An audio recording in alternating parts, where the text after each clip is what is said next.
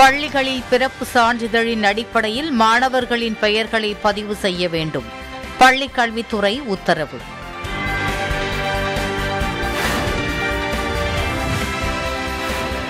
தமிழகத்தில் தேர்தல் பறக்கும் படையினரால் சுமார் ஐம்பத்தி நான்கு லட்சம் ரூபாய் மதிப்பிலான பணம் பொருட்கள் பறிமுதல்.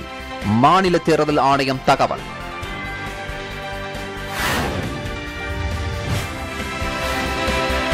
கீழ் பவானி வாய்க்காலில் இரண்டாம் போக புன்சை பாசனத்திற்காக தண்ணீர் திறப்பு. ஏப்ரல் முப்பதாம் தேதி வரை திறக்கப்பட உள்ளதால் விவசாயிகள் மகிழ்ச்சி.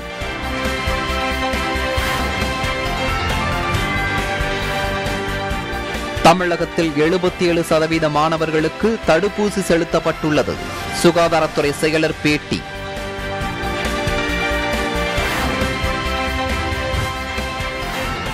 கிருஷ்ணகிரி மாவட்டத்தில் மானாவரி நிலங்களில் மா சாகுபடியில் ஈடுபட்டுள்ள விவசாயிகள். மாமரங்களில் பூக்கள் பூக்கத் தொடங்கியுள்ள நிலையில் பூச்சி தாக்குதலை தடுக்க பயிற்சி அளிக்க கோரிக்கை.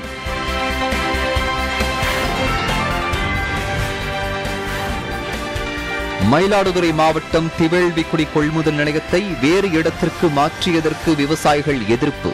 சாலையில் நெல்லை கொட்டி மறியல் போராட்டம்.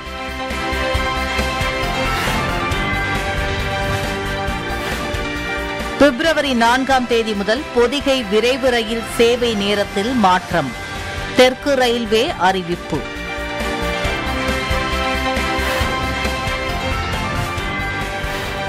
பயிர் வளர்ப்புடன் சூரிய மின்சக்தியை உற்பத்தி செய்யும் அக்ரிவோல்டாய்ஸ் விவசாயிகளுக்கு கூடுதல் வருவாய் ஏற்படுத்தும் திட்டத்துக்கு பெருகி வரும் ஆதரவு.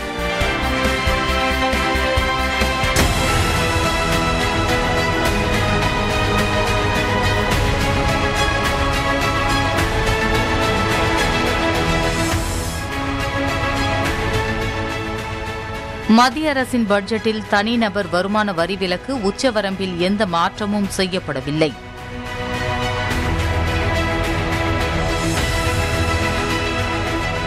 நீர்ப்பாசன திட்டங்களுக்கு நாற்பத்தி நான்காயிரத்து அறுநூற்று ஐந்தாயிரம் கோடி ரூபாய் ஒதுக்கீடு செய்யப்பட்டுள்ளது.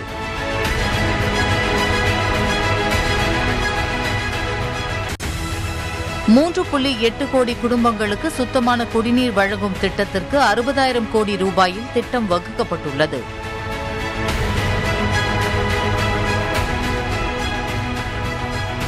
காவிரி பெண்ணாறு இணைப்பு திட்டம் சம்பந்தப்பட்ட மாநிலங்களின் ஒப்புதலுக்கு பின் நிறைவேற்ற நடவடிக்கை எடுக்கப்படும் என தெரிவிக்கப்பட்டுள்ளது.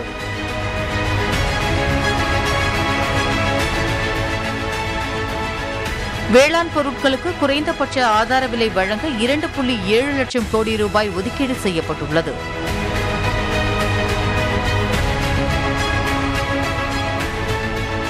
பாதுகாப்புத்துறைக்கு தேவையான தளவாடங்களை அறுபத்தெட்டு சதவீதம் உள்நாட்டிலேயே கொள்முதல் செய்ய திட்டமிடப்பட்டுள்ளது.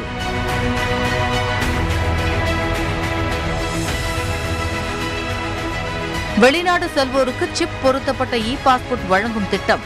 அறிமுகப்படுத்தப்படும் என தெரிவிக்கப்பட்டுள்ளது.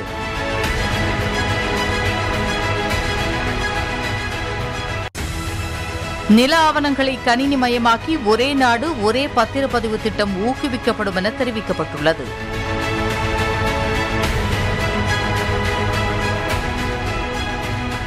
ரிசர்வ் வங்கி மூலம் புதிய டிஜிட்டல் கரன்சி அறிமுகப்படுத்தப்படும் என பட்ஜெட்டில் குறிப்பிடப்பட்டது.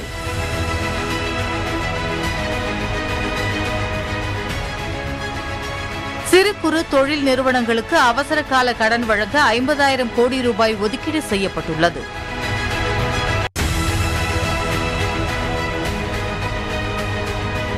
டிஜிட்டல் சொத்துக்கள் விற்பனை வருவாய்க்கு முப்பது சதவீதம் வரி விதிக்கப்படும் என பட்ஜெட்டில் நிதியமைச்சர் நிர்மலா சீதாராமன் தெரிவித்துள்ளார்.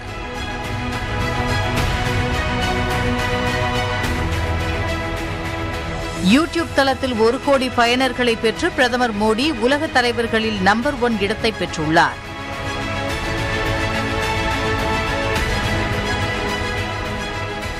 கொரோனா பெருந்தொற்றால் பயன்படுத்தப்பட்ட மருத்துவ கழிவுகளால் மனித ஆரோக்கியத்திற்கும் சுற்றுச்சூழலுக்கும் அச்சுறுத்தல் ஏற்பட்டுள்ளதாக உலக சுகாதார அமைப்பு தெரிவித்துள்ளது.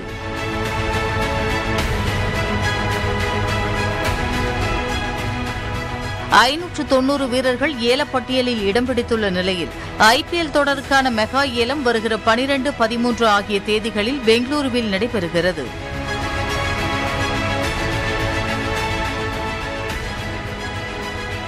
கொரோனா பரவல் காரணமாக அகமதாபாத்தில் நடைபெறவுள்ள இந்தியா வெஸ்ட் இண்டீஸ் இடையேயான மூன்று ஒருநாள் போட்டிகளில் ரசிகர்கள் அனுமதி இல்லை என குஜராத் கிரிக்கெட் சங்கம் அறிவித்துள்ளது.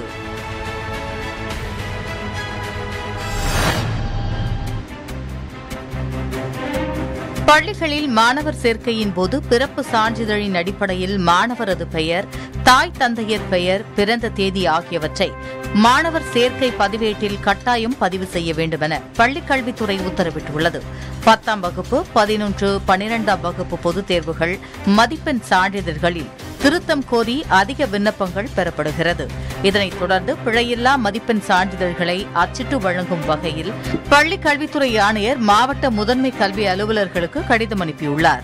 பத்தாம் வகுப்பு மற்றும் மேல்நிலை பொதுத் தேர்வுகளுக்கான பள்ளி மாணவர்கள் பெயர் பட்டியலின் அடிப்படையிலேயே மதிப்பெண் சான்றிதழ்கள் அச்சிடப்பட்டு வழங்கப்படுகின்றன. இதனால் பள்ளி தலைமை ஆசிரியர்கள் தங்கள் பள்ளியில் பயிலும் மாணவர்களது பெயர் தாய் தந்தை அல்லது பாதுகாவலரது பெயர்களை தமிழ் மற்றும் ஆங்கிலத்தில் பதிவு செய்ய வேண்டும் என்றும் பிறந்த தேதி ஆகியவற்றை பதிவேற்றம் செய்யும் பொழுது எந்தவித தவறும் இல்லாமல் சரியாக பதிவு செய்திருப்பதை உறுதி செய்தல் வேண்டும் என்றும் கடிதத்தில் குறிப்பிடப்பட்டுள்ளது.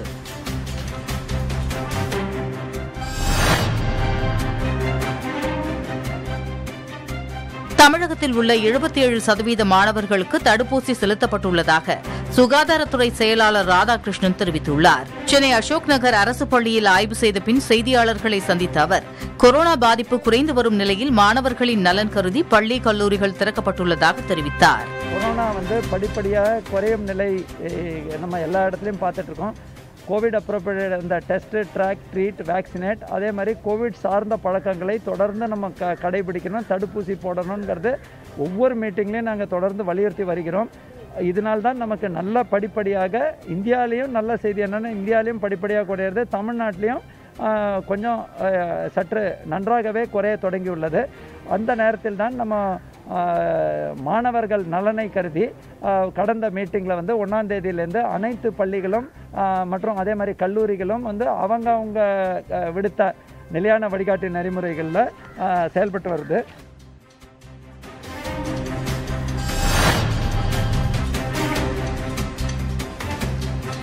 பவானி சாகர் அணையிலிருந்து கீழ்பவானி வாய்க்காலில் இரண்டாம் போக புன்சை பாசனத்திற்கு தண்ணீர் திறக்கப்பட்டுள்ளது. நூற்று ஐந்து அடி உயரமும் முப்பத்தி இரண்டு புள்ளி எட்டு டிஎம்சி கொள்ளளவு கொண்ட பவானி சாகர் அணையின் மூலம் ஈரோடு திருப்பூர் மற்றும் கரூர் மாவட்டங்களில் உள்ள இரண்டு லட்சத்து நாற்பத்தி ஏழாயிரம் ஏக்கர் நிலங்கள் பாசன வசதி பெறுகின்றன. கீழ்பவானி வாய்க்கால் ஒற்றைப்படை மதகு பாசன பகுதியில் நிலக்கடலை மற்றும் எள் சாகுபடி செய்யப்பட்டு வருவதை அடுத்து மாவட்ட நிர்வாகம் சார்பில் தண்ணீர் திற திறக்க பரிந்துரை செய்து தமிழக அரசுக்கு கடிதம் அனுப்பப்பட்டது. இதைத் தொடர்ந்து பவானிசாகர் அணையிலிருந்து கீழ்பவானி வாய்க்காலில் இரண்டாவது போக புன்சை பாசனத்திற்காக பிரதான கால்வாய் மதகுகள் மூலம் தண்ணீரை பொதுப்பணித்துறை அதிகாரிகள் திறந்து வைத்தனர். முதற்கட்டமாக ஐநூறு கனஅடி தண்ணீர் திறக்கப்பட்ட நிலையில் தண்ணீர் திறப்பு படிப்படியாக இரண்டாயிரத்து முன்னூறு கனஅடியாக அதிகரிக்கப்படும் எனவும் பாசன பகுதி விவசாயிகள் தண்ணீரை சிக்கனமாக பயன்படுத்த வேண்டும் என பொதுப்பணித்துறை அதிகாரிகள் தெரிவித்துள்ளனர். ஏப்ரல் மாதம் முப்பதாம் தேதி வரை குறிப்பிட்ட இடைவெளி விட்டு பாசனத்திற்கு தண்ணீர் திறக்க உத்தரவிடப்பட்டுள்ளது.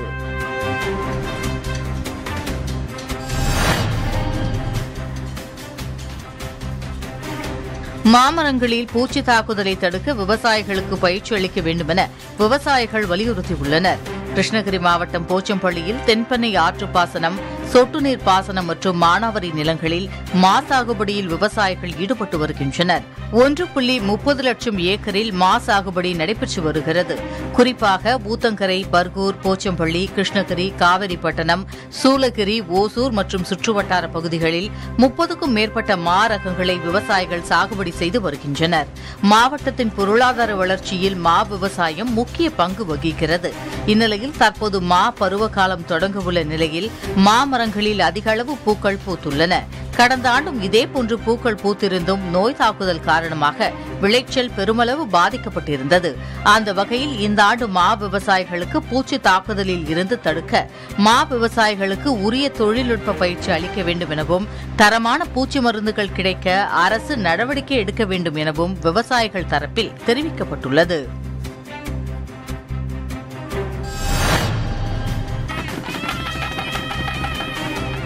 காவேரி கூக்குரல் இயக்கத்தின் மூலம் மரம் சார்ந்த விவசாயம் செய்து வரும் தமிழக விவசாயிகளை சந்திப்பதற்காக கோபிச்செட்டிப்பாளையத்திற்கு ஹிந்தி திரைப்பட நடிகை ஜூஹி சாவ்லா வருகை தந்தார். கோபிச்செட்டிப்பாளையம் மேவானி கிராமத்தில் நடந்த காவேரி கூக்குரல் இயக்கத்தின் நிகழ்வில் மரம் சார்ந்த விவசாயத்தால் தங்கள் வாழ்விலும் சுற்றுச்சூழலிலும் ஏற்பட்டுள்ள மாற்றங்கள் குறித்து விவசாயிகள் ஜூஹி சாவ்லாவுடன் பகிர்ந்து கொண்டனர். பின்னர் செய்தியாளர்களிடம் பேசிய ஜூஹி சாவ்லா வறட்சியாலும் குடும்ப சூழல்களாலும் நிலத்தை விற்க முடிவு எடுத்த விவசாயிகள் கூட காவேரி கூக்குரல் இயக்கத்தின் மூலம் மரம் சார்ந்த விவசாய முறைக்கு மாறியுள்ளதாகவும் அவர்களுக்கு புது நம்பிக்கையும் விவசாயிகளின் வருமானமும் விளைச்சலும் பல மடங்கு அதிகரித்து இருப்பதை அறிந்து கொண்ட போது மகிழ்ச்சியாக உள்ளதாக தெரிவித்தார் மேலும் பொருளாதாரம் மட்டுமின்றி நிலத்தின் மண் வளமும் நன்கு மேம்பட்டு இருப்பதாக ஜூகி சாவ்லா கூறினார் meeting them this morning i met and heard their stories and the change it has brought about the change it has made to every, those farmers doubled their income he has planted some thousand trees plus on his four acres Uh, Uh, he's a success today. He can see hope. He can see money. And wow. I- am i am amazed at what all i've heard.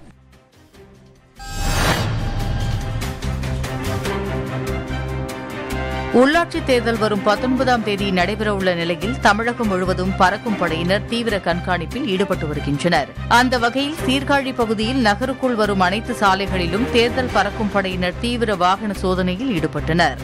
Srivilliputhur அருகே உள்ள மம்சாபுரம் பேரூராட்சிக்கு உட்பட்ட பகுதிகளில் பறக்கும் படையினர் வாகன சோதனையில் ஈடுபட்டனர். சோதனையின் போது மினிவேன் ஒன்றிலிருந்து உரிய ஆவணம் இல்லாமல் அறுபத்தி மூன்றாயிரத்து இருநூறு ரூபாய் பணம் செல்போன்கள் தொண்ணூத்தைந்தாயிரம் ரூபாய் மதிப்பிலான பிரெட் கேக் உள்ளிட்டவைகளை பறக்கும் படையினர் பறிமுதல் செய்தனர். சிவகங்கை மாவட்டம் திருப்புவனம் பகுதியில் தேர்தல் பறக்கும் படையினர் நடத்திய சோதனையில் மதுரையிலிருந்து திருப்புவனம் நோக்கி வந்த வேனில் இருந்து அறுநூறு மது பாட்டில்களை பறிமுதல் செய்துள்ளனர். உரிய ஆவணங்கள் இல்லாததால் மது பாட்டில்களை பறிமுதல் செய்த பறக்கும் படையினர் திருப்புவனம் கருவூலத்தில் ஒப்படைத்தனர்.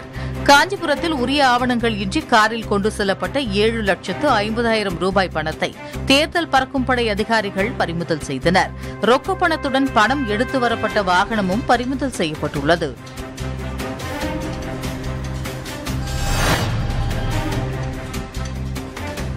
உள்ளாட்சி நகர்ப்புற தேர்தலில் பறக்கும் படையினரால் சுமார் ஐம்பத்து நான்கு லட்சம் ரூபாய் மதிப்பிலான பணம் மற்றும் பொருட்கள் கைப்பற்றப்பட்டு உள்ளதாக மாநில தேர்தல் ஆணையம் தெரிவித்துள்ளது.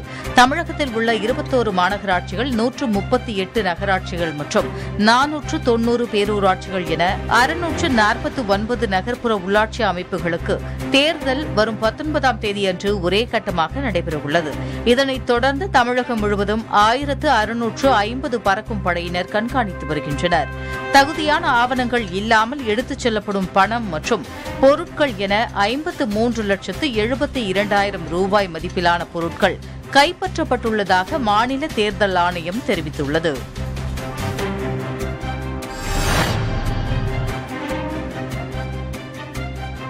பொதிகை விரைவு ரயிலுக்கு பிப்ரவரி நான்காம் தேதி முதல் மதுரை ரயில் நிலையத்தில் மின்சார இன்ஜின் பொருத்தப்பட இருப்பதால் சேவை நேரத்தில் மாற்றம் செய்யப்பட்டிருப்பதாக மதுரை கோட்ட தெற்கு ரயில்வே தெரிவித்துள்ளது.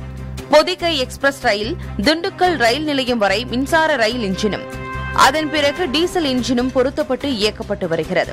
தற்போது மதுரை ரயில் நிலையத்தில் கூடுதலாக இரண்டு ரயில் பாதைகள் மின்மயமாக்கப்பட்டுள்ள நிலையில் பொதிகை எக்ஸ்பிரஸ் ரயிலுக்கு பிப்ரவரி நான்காம் தேதி முதல் மதுரை ரயில் நிலையத்தில் மின்சார இன்ஜின் மாற்றப்பட உள்ளது. இதன் காரணமாக பிப்ரவரி நான்காம் தேதி முதல் சென்னை எழும்பூர் செங்கோட்டை பொதிகை எக்ஸ்பிரஸ் திண்டுக்கல் ரயில் நிலையத்திலிருந்து அதிகாலை மூன்று முப்பது மணிக்கு பதிலாக அதிகாலை மூன்று பத்து மணிக்கு புறப்படும் எனவும் இந்த ரயில் மதுரையிலிருந்து அதிகாலை நான்கு முப்பது மணிக்கு பதிலாக அதிகாலை நான்கு இருபத்தைந்து மணிக்கு புறப்படும் எனவும் தெரிவிக்கப்பட்டுள்ளது. மறுமார்க்கத்தில் பிப்ரவரி ஐந்தாம் தேதி முதல் செங்கோட்டை சென்னை எழும்பூர் பொதிகை எக்ஸ்பிரஸ் மதுரையிலிருந்து இரவு ஒன்பது நாற்பது மணிக்கு பதிலாக இரவு ஒன்பது ஐம்பது மணிக்கு புறப்படும் எனவும் இந்த ரயில் திண்டுக்கல் ரயில் நிலையத்திலிருந்து இரவு பதினோரு மணிக்கு பதிலாக இரவு பத்து ஐம்பது மணிக்கு புறப்படும் எனவும் தெரிவிக்கப்பட்டுள்ளது. மேலும் மதுரை சென்னை எழும்பூர் பாண்டியன் எக்ஸ்பிரஸ் புனலூர் மதுரை எக்ஸ்பிரஸ் ஆகிய ரயில்களின் நேரமும் மாற்றப்பட்டுள்ளதாக தெற்கு ரயில்வே தகவல் தெரிவித்துள்ளது.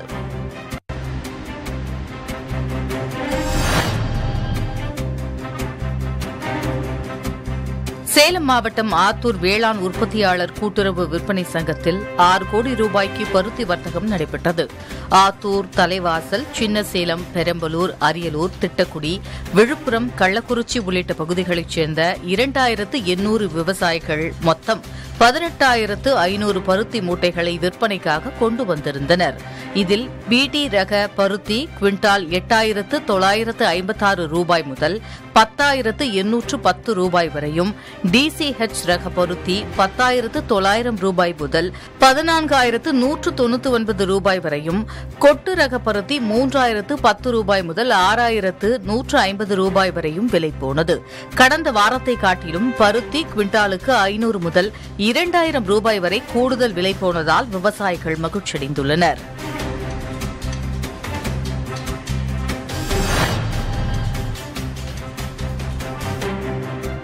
மயிலாடுதுறை மாவட்டம் திருவேல்விக்குடி கிராமத்தில் உள்ள நெல் கொள்முதல் நிலையத்தை வேறு இடத்திற்கு மாற்றியதற்கு விவசாயிகள் எதிர்ப்பு தெரிவித்துள்ளனர். திருவேல்விக்குடி கிராமத்தில் பதினைந்து வருடங்களுக்கு மேலாக செயல்பட்டு வந்த கொள்முதல் நிலையம் கடலங்குடி கிராமத்தில் மாற்றி அமைக்கப்பட்டது. இதற்கு எதிர்ப்புகள் கிளம்பியும் நுகர்பொருள் வாணிப கழக அதிகாரிகள் நடவடிக்கை எடுக்காததால் விவசாயிகள் மயிலாடுதுறையிலிருந்து கல்லணை செல்லும் சாலையில் நெல்லினை கொட்டி மறியல் செய்தனர். தகவல் அறிந்து வந்த குத்தாலம் போலீசார் சாலை மறியல் போராட்டத்தில் ஈடுபட்ட விவசாயிகளிடம் உரிய நடவடிக்கை எடுக்கப்படும் என உறுதி அளித்ததன் பேரில் மறியலை விவசாயிகள் தற்காலிகமாக கைவிட்டனர். சாலை மறியல் போராட்டத்தால் அரை மணி நேரம் போக்குவரத்து பாதிக்கப்பட்டது. இதேபோல் புதுக்கோட்டை மாவட்டம் எஸ். குள்ளவாய்ப்பட்டியில் செயல்பட்டு வந்த அரசு நேரடி நெல் கொள்முதல் நிலையம் நீர்பிடிப்பில் இருப்பதாக கூறி அதனை மற்றொரு பகுதிக்கு அதிகாரிகள் மாற்றியுள்ளதால் விவசாயிகள் சாலை மறியல் போராட்டத்தில் ஈடுபட்டனர். இதனால் புதுக்கோட்டை அறந்தாங்கி சாலையில் இரண்டு மணி நேரத்திற்கு மேலாக போக்குவரத்து பாதிக்கப்பட்டுள்ளது. அது வந்து பதினெட்டு வருஷமா குழாய்பட்டியில இருந்தது. இப்போ வந்து வேற இடத்துக்கு கொண்டு போய் அதை வச்சுக்கிட்டு இது பண்றாங்க. இங்க பதினெட்டாயிரம் ஏக்கர் ஏக்கர் நிலம் ஃபுல்லா இங்கே நில நெல் இருக்குது இருக்குது. இதை வந்து இப்போ கொண்டு போய் அங்கே வச்சுக்கிட்டு இது பண்ணணும்னா என்ன பண்றது? எங்களுக்கு கொலாபட்டிக்கு சென்று வேணும். ஆண்டாண்டு காலமா இங்கே தான் எங்களுக்கு தான் சென்று வேணும். வேற எங்கேயும் போகக்கூடாது எப்பவும் வந்து பழைய இடத்துல நெல் வந்து எடுத்துக்கிட்டு இருந்தாங்க. அந்த பழைய இடத்த விவசாயிகளுக்கு தகவல் முன்கூட்டி சொல்லாமல் அவங்க சௌகரியத்துக்கு அவங்க இஷ்டத்துக்கு அதை வந்து இடம் மாற்றிட்டாங்க அந்த மாதிரி இப்போ இந்த- இந்த அதுக்கு தான் நடந்து நடந்துக்கிட்டு இருக்கு.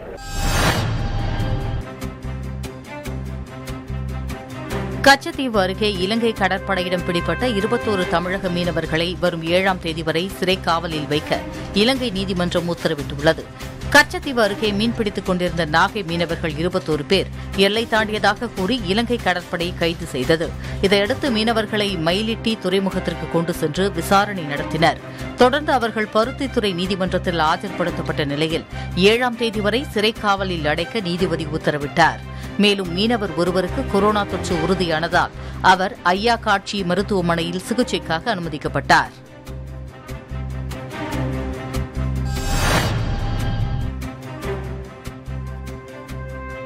விழுப்புரம் மாவட்டம் நெகனூர் புதூர் கிராமத்தில் உள்ள ஊராட்சி ஒன்றிய நடுநிலைப் பள்ளியில் ஆங்கில ஆசிரியர் நியமிக்க கோரி பெற்றோர்கள் போராட்டம் நடத்தினர். நெகனூர் புதூர் கிராமத்தில் செயல்பட்டு வரும் ஊராட்சி ஒன்றிய நடுநிலைப் பள்ளியில் நூறு மாணவர்கள் கல்வி பயின்று வருகின்றனர். பள்ளியில் தலைமை ஆசிரியர் உட்பட நான்கு ஆசிரியர்கள் தற்போது பணிபுரிந்து வருகின்றனர். பள்ளியில் பணியாற்றி வந்த ஆங்கில ஆசிரியர் வேறு பள்ளிக்கு மாற்றப்பட்ட நிலையில் இதுவரை புதிதாக ஆங்கில ஆசிரியர் நியமிக்கப்படவில்லை என கூறப்படுகிறது. இதனால் தங்களது பிள்ளைகள் சிரமப்படுவதாக கூறி பள்ளி நுழைவாயில் கேட்டை மூடி பெற்றோர்கள் போராட்டம் செய்தனர். தகவல் அறிந்து வந்த செஞ்சி மாவட்ட கல்வி அலுவலர் பேச்சுவார்த்தை நடத்தியும் பெற்றோர்கள் கலைந்து செல்ல மறுத்தனர். தொடர்ந்து மாவட்ட ஆட்சியர் மோகன் பெற்றோர்களிடம் தொலைபேசியில் பேசி இருபது நாட்களில் ஆங்கில ஆசிரியர் நியமிக்கப்படுவார் என உறுதியளித்ததை அடுத்து அவர்கள் கலைந்து சென்றனர்.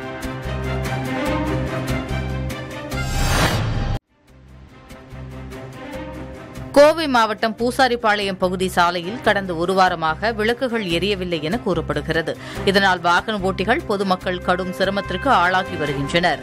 எனவே இதற்கு அதிகாரிகள் நடவடிக்கை எடுக்குமாறு புதுயுகம் இளம்படை வீரர் பவ்யா கோரிக்கை விடுத்துள்ளார். கோவையில் பூசாரி பாளையத்துலேருந்து வீலகேரளம் வரைக்கும் தெருவிளக்கு ஒரு வாரமாக இரவில் எரிய மாட்டேங்குது. அதனால போக்குவரத்து பாதிக்குது. நடந்து போகிறவங்க வண்டியில் போகிறவங்களுக்கெல்லாம் ரொம்ப கஷ்டமாக இருக்குது என்னோட வேண்டுகோள் என்னென்னா தெருவிளக்கை சரி செய்யணும். புதுக்கோட்டை மாவட்டம் கீரமங்கலம் அருகே அரசு பள்ளி மாணவன் தனது பிறந்த நாளை முன்னிட்டு சக மாணவர்கள் மற்றும் ஆசிரியர்களுக்கு மரக்கன்றுகளை கொடுத்தது வரவேற்பை பெற்றுள்ளது. பிறந்தநாள் விழா என்றால் மாணவர்கள் இனிப்பு வழங்கி கொண்டாடுவது வழக்கம். ஆனால் புதுக்கோட்டை மாவட்டம் கீரமங்கலம் அருகே உள்ள சேந்தன்குடி அரசு பள்ளியில் ஒன்பதாம் வகுப்பு படிக்கும் மாணவன் தமிழ் அழகன் தனது பிறந்த நாளை முன்னிட்டு உடன் படிக்கும் சக மாணவர்கள் இருநூற்று ஐம்பது பேருக்கு மரக்கன்றுகளை வழங்கியுள்ளார். மேலும் தனது ஆசிரியர்களுக்கு அத்தி அத்திப்பழம் மற்றும் பனங்கிழங்குகளையும் கொடுத்து ஆச்சரியத்தில் ஆழ்த்திய தமிழ் அழகன் தமிழர்களின் பாரம்பரியத்தை நாம் அனைவரும் காக்க வேண்டும் என்பதற்காக அதனை கொடுத்ததாகவும் ஆசிரியர்களிடம் அந்த மாணவன் தெரிவித்தார்.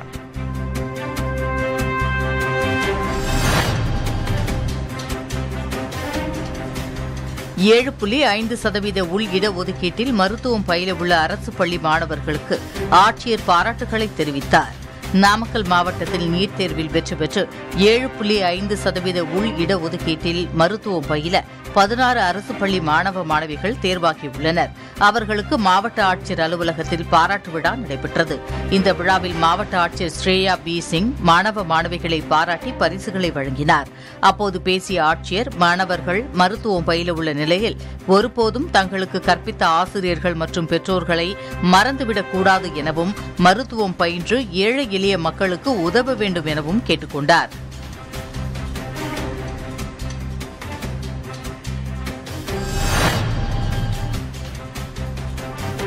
மயிலாடுதுறை மாவட்டம் சீர்காழி அருகே சட்டநாதபுரம் ஊராட்சியில் நியாய விலை கடை மூலம் இந்த பகுதியைச் சேர்ந்த ஆயிரத்து நானூறு குடும்பங்களுக்கு அரசின் குடிமைப் பொருட்கள் வழங்கப்பட்டு வருகிறது. செம்மங்குடி தொடக்க வேளாண்மை கூட்டுறவு கடன் சங்கத்தின் கீழ் இயங்கும் இந்த கடையில் சக்கரவர்த்தி என்பவர் விற்பனையாளராக பணியாற்றி வருகிறார். இந்நிலையில் தமிழக அரசின் பொங்கல் பரிசு தொகுப்பினை குடும்ப அட்டைதாரர்களுக்கு முறையாக வழங்க தவறியது இருப்பு குறைவு ஏற்படுத்தியது அன்றாட விற்பனை தொகையை முறையாக சங்கத்தில் செலுத்த தவறியது உள்ளிட்ட புகார்கள் இவர் மீது எழுந்துள்ளது. இதனால் சட்டநாதபுரம் நியாய விலைக்கடை விற்பனையாளர் சக்கரவர்த்தியை தற்காலிக பணி நீக்கம் செய்து செம்மங்குடி தொடக்க வேளாண்மை கூட்டுறவு கடன் சங்க தலைவர் ராஜமாணிக்கம் உத்தரவு பிறப்பித்துள்ளார்.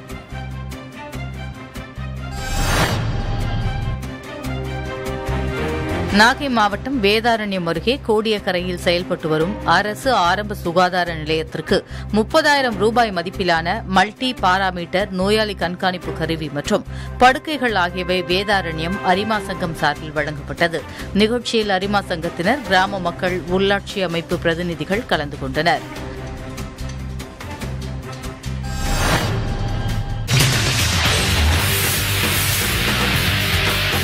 சூரிய மின் சக்தி தேவையா அப்படிங்கிற ஒரு பெரிய ஒரு கேள்வி எழுந்திருக்குது.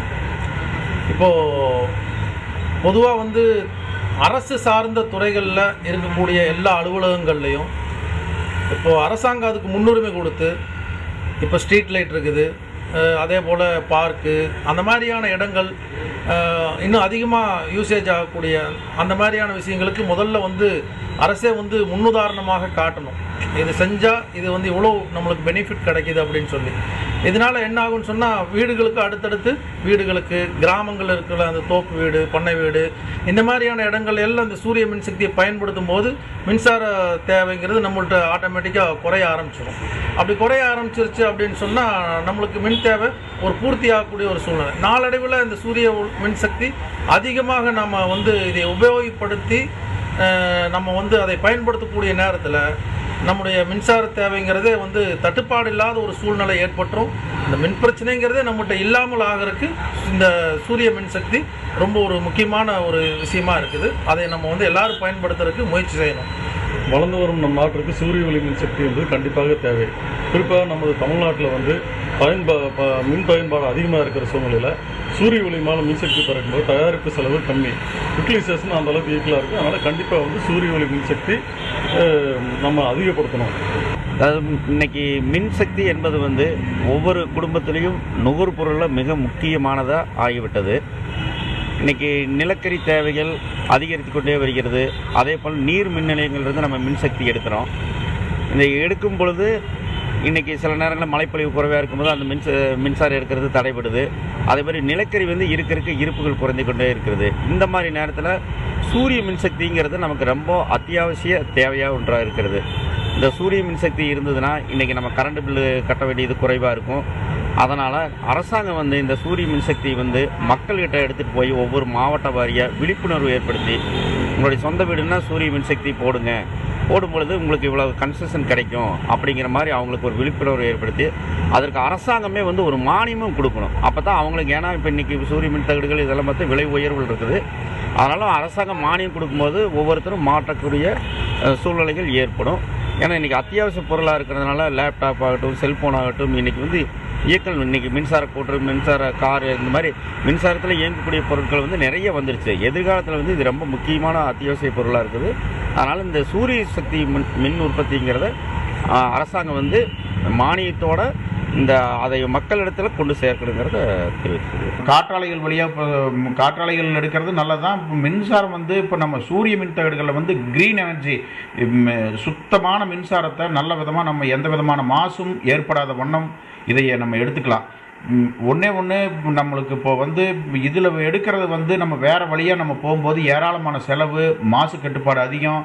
இதில் எல்லாம் பார்க்கும்போது இந்த மின் தகடுகள் கொண்டு எடுத்துக்கிறத நல்ல விதமாக நம்ம பண்ணிட்டோம்னா இந்தியாவுக்கு இன்னும் எக்கச்சக்கமான மின்சாரம் நம்ம எடுத்துக்க முடியும். இன்னும் மின் தேவை ஏராளமான மின் தேவை இப்போ வர்ற எலக்ட்ரிக் வண்டிகள் எல்லாத்துக்குமே ரொம்ப நல்லதுங்க. இந்த இயற்கையை காப்பாற்றணுன்னா நம்மளுக்கு இது காலத்தின் கட்டாயம் இதுக்கு ஒரே தீர்வு நம்ம சூரிய மின்சக்தியில் மட்டும்தான் நம்ம மின்சாரத்தை எடுக்கணுங்கிற முடிவோடு நம்ம பண்ணி இந்த இந்தியாவை காப்பாற்றியே தீரணுங்கிற கட்டாயத்தில் நம்ம இருக்கு இன்னைக்கு இருக்கிறோங்க தற்போது இருக்கிற சூழ்நிலையில் அணுசக்தி மின்சாரம் நீர் மின்சாரம் நி- நி- நிலக்கரி மின்சாரம் ஆகிய அதிகப்படியான ஒரு செலவினங்களில் தான் உருவாக்கப்படுது. சூரிய சக்தி மின்சாரம் அரசாங்கமே மானியம் கொடுத்து தொடங்கி வச்சுருக்காங்க.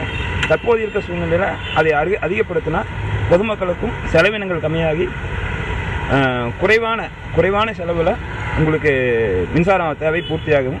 அதனால் சு இந்த சூரிய சூரிய ஒளி மின்சார தேவைங்க வந்து இப்போ வந்து தகுந்த ஒரு முன்னேற்றமான பாதையில் செல்றதுக்கு அரசாங்கம் நடவடிக்கை எடுக்கணும்.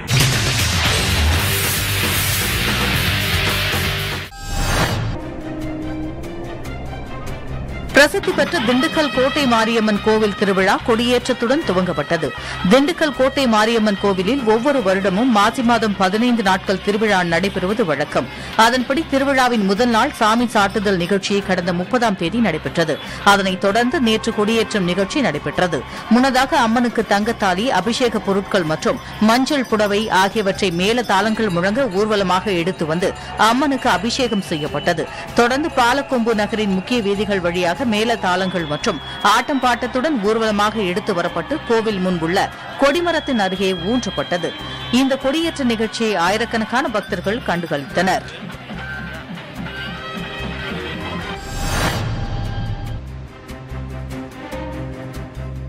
மதுரையில் பள்ளி மாணவர்கள் பேருந்து படிக்கட்டில் ஆபத்தான முறையில் தொங்கி சென்றனர். தமிழகத்தில் ஊரடங்கில் பல்வேறு தளர்வுகள் அளிக்கப்பட்டதைத் தொடர்ந்து அனைத்து பள்ளி கல்லூரிகள் கொரோனா தடுப்பு நெறிமுறைகளை பின்பற்றி திறக்கப்படும் என்று அறிவிக்கப்பட்டது. இதையடுத்து நீண்ட நாட்களுக்கு பிறகு பள்ளிகள் திறக்கப்பட்டது. இந்நிலையில் மதுரை பெரியார் பேருந்து நிலையத்திலிருந்து மதுரை புறநகர் பகுதியான சிலைமான் பகுதிக்கு செல்லக்கூடிய அரசு பேருந்துகளில் பள்ளி மாணவர்கள் படிக்கட்டுகளில் தொங்கியபடி ஆபத்தான முறையில் பயணம் செய்தனர். இதனால் மாணவர்களின் போக்குவரத்து வசதிக்காக அதிக எண்ணிக்கையிலான அரசு பேருந்துகளை இயக்க வேண்டுமென கோரிக்கை எழுந்துள்ளது.